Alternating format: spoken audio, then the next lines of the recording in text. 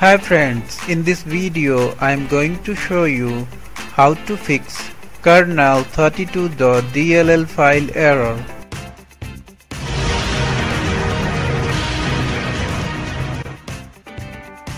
In order to fix this error, open Google and search kernel32.dll.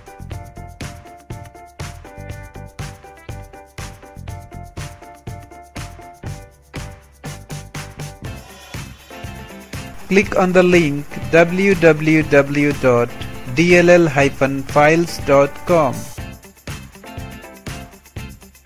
Now go to the bottom of this website.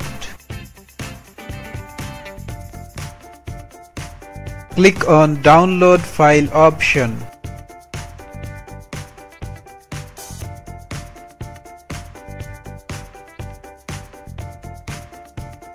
Now go to the location where zip file is downloaded.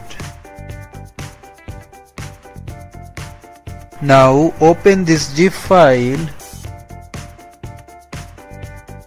Now drag kernel 32.dll file on the desktop.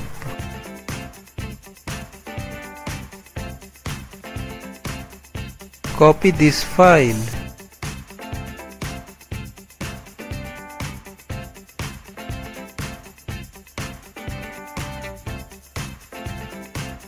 Now open my computer. Inside my computer, open C drive. Now open Windows folder.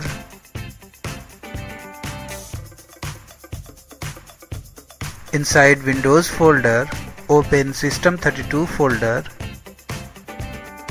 Inside System32 folder, paste the copied file. Now click on continue button.